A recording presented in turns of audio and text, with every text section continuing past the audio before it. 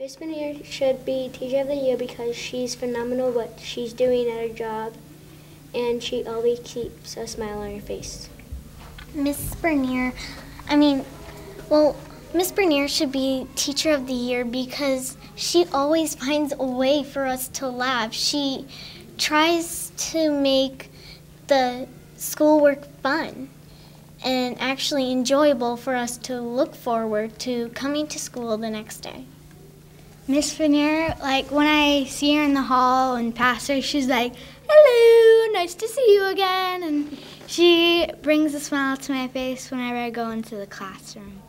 And it's fun. I think Miss Bernier deserves a Teacher of the Year award because she works so hard at her job and she uh, does all that she can to do stuff for us. One of the important qualities about Mrs. Bernier as a teacher is that she not only has the skills and the knowledge to educate our students, but she has the heart, and that is such an important aspect um, of education and building those relationships with students so that they respond positively to her. She is instilling in her students a lifelong love of learning. That is that's such an important thing that she can give those students is that love of learning and her students truly love coming to school every day. They're excited to learn.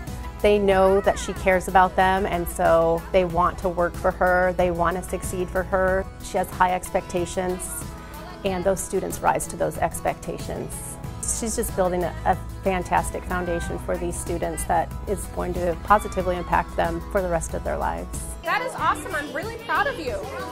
And you know what? It's great here. You guys are, you're on the ball. Nice idiom. Okay, you guys are working as a great team. That is great. The most important trait personally that I think I bring to the classroom each day, I would have to say the biggest is love. Because I really believe that if you don't love the students and you don't love what you do, you're not going to have the outcome and you're not going to reach all of the students in a way that they deserve to be reached. So I make it a point, a personal point for myself to make sure that every single student leaves my classroom each day feeling loved, feeling successful, having have learned something, and I really have to focus in on each individual student in order to make that happen. Yes. Ooh, great word. And what's Anne Marie? Yes.